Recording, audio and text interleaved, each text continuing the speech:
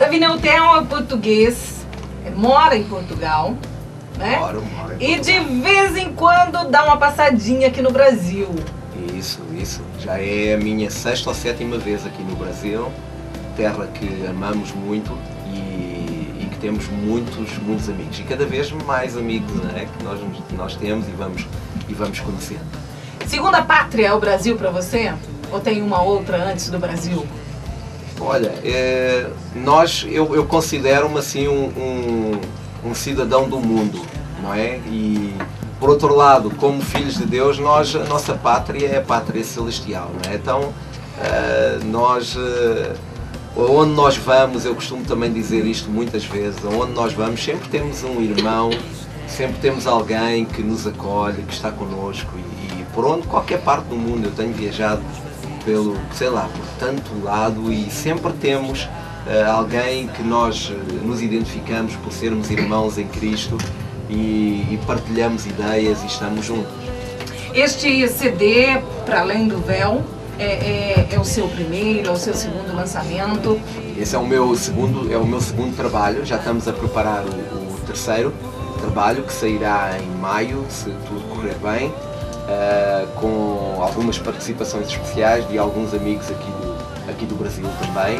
E também, como eh, eu referi ontem também, eh, vamos ter a participação de- daquele de uma pessoa que eu considero que é um dos pais da adoração a nível mundial, ahm, que é o, o Graham Kendrick de Inglaterra, um amigo meu de há 16, 17 anos, é considerado um dos maiores compositores do século XX cristão, ah, fundador da Marcha para Jesus em todo o mundo.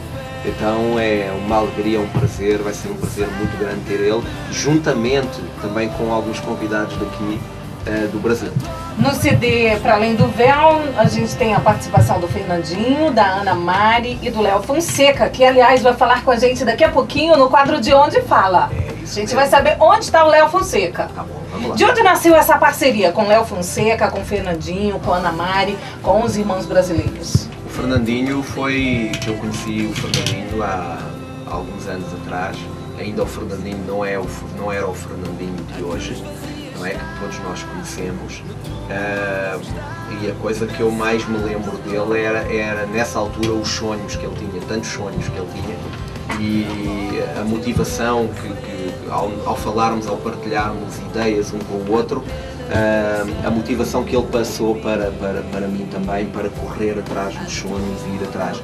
E a Ana Mari é, é, é, é espanhola, ela, e ela está em Portugal também há muitos anos, é uma grande ministra de louvor, ah, lá da nossa igreja também, na Assembleia de Deus de, de, de Almada. E, e era obrigatório ter ela, ter ela neste, neste, neste trabalho. O Léo, o ano passado, eh, na altura que eu estava a gravar o meu trabalho, estava em digressão por Portugal. Será que existe competição também entre cantores evangélicos? Porque aí fora ah, ah, é a cultura do quanto pior, melhor, né? É, as pessoas estão se destruindo e a competição é violenta.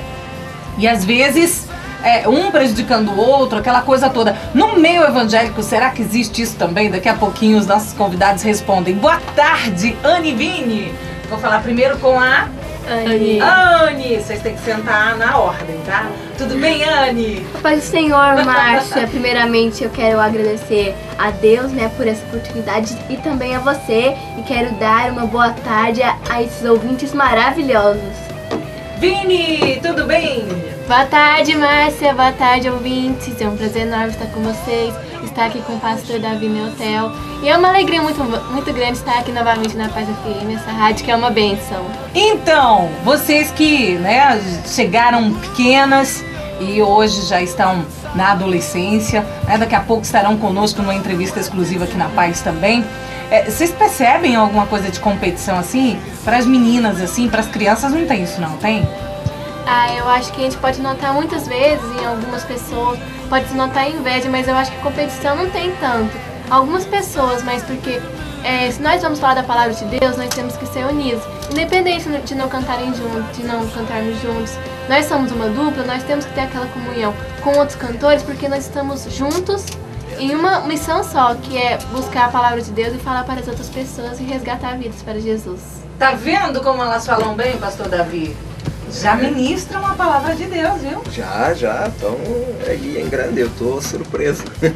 Concorda com a Vini, Anne? Concordo. Não tem muita competição não, tá tranquilo. Não, não tem, né? Porque todos nós estamos fazendo um único papel, que é conseguir, que é resgatar vidas para Deus. Então, assim, nós temos que trabalhar em comunhão.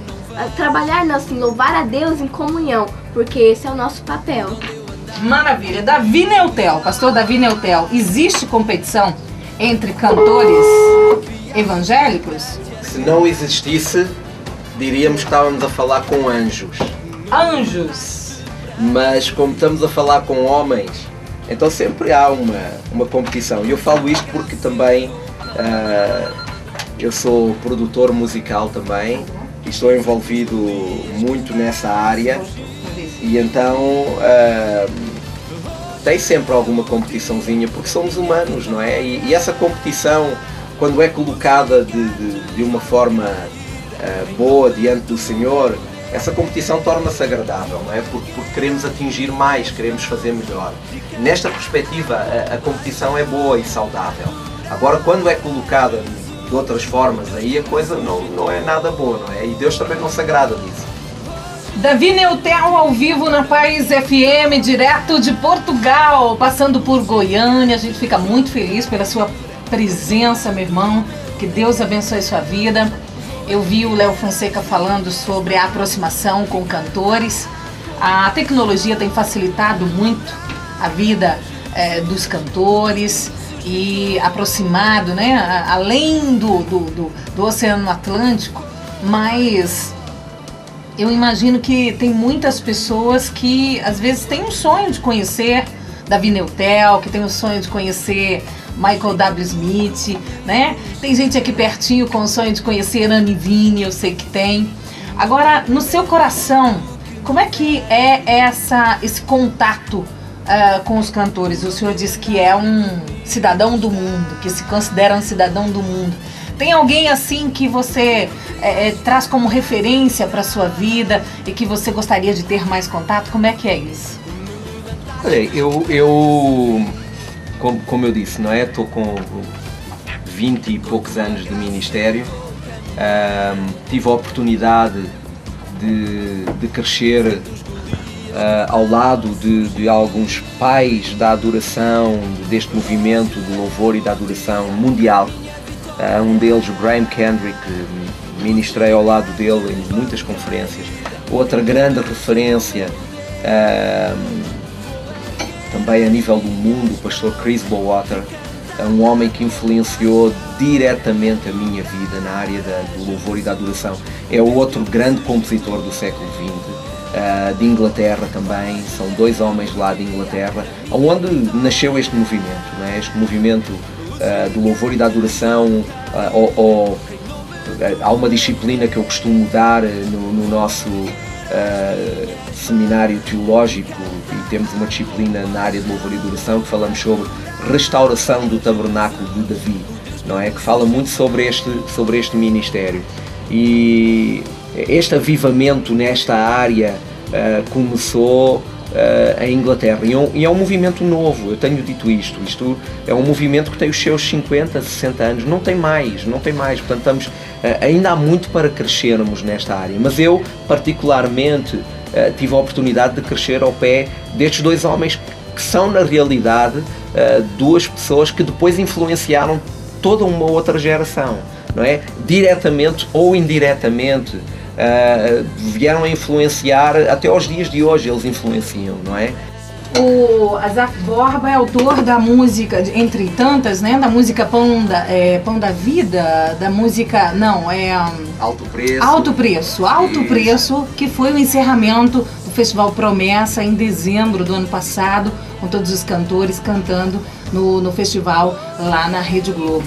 E tem parceria do, do, do, do Azaf no seu CD? Essa é uma das novidades, mas eu conto aqui, vai ter agora, no próximo trabalho. próximo CD tem próximo CD tem, Azaf. tem, tem o Azaf. tem. Vamos aproveitar Olha. a ida dele lá em Portugal e vamos, e vamos estar gravando. Nosso e mais, e vamos ter acabou, mais, vamos nosso ter mais. tempo acabou, meu irmão. Eu quero que- apenas que você deixe o seu contato, o seu e-mail e a gente vai sortear Podem, o podem eh, procurar por mim no Facebook, em Ministério da Vineutel. Podem também. eh, no Facebook encontram lá as informações todas. Então, no Facebook, Ministério da Davi Vineutel. escreve-se da, David, David, David. É D-A-V-I-D, Isso, Neutel. Neutel com U com U. e L no final. E L no Davi Neutel. Deus abençoe sua vida, muito sucesso, um abraço para toda a sua família. Obrigada, Anne Vini. Estão mandando beijos aqui pra Bia, né? Fala aí. Isso, eu quero mandar um beijo pra Bia, né, que é até a sua filha, que eu soube que ela está doente. Eu quero te desejar melhoras e que nós vamos estar orando por você, porque nós gostamos muito de você. Bia, um beijo. Que lindo! Obrigada, meninas. Deus abençoe. Paz, meu irmão, que não haja competição entre nós e que nós possamos somar para o reino. Deus abençoe. Deus abençoe a todos.